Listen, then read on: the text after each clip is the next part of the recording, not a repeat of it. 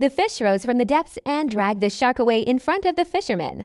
Off the coast of Florida, fishermen decided to lure a shark into their nets. They were already preparing for the catch when suddenly a huge fish rose from the depths and dragged the shark right before their eyes. If this had not been captured on video, their stories might have seemed fantastic. The shark approached the boat very close. The fishermen were counting on a good catch, since she had already hooked the bait. The man with the fishing rod began to carefully pull up the fishing line. At that moment, a huge fish appeared from the depths. After a few seconds, the fish dragged the shark down, and the fishermen were powerless. When they watched the video footage, they realized that they had encountered a giant grouper, which could have weighed more than 220 kilograms. Naturally, the fishermen were no match for a creature of this size, and in the video they appeared too surprised to react quickly.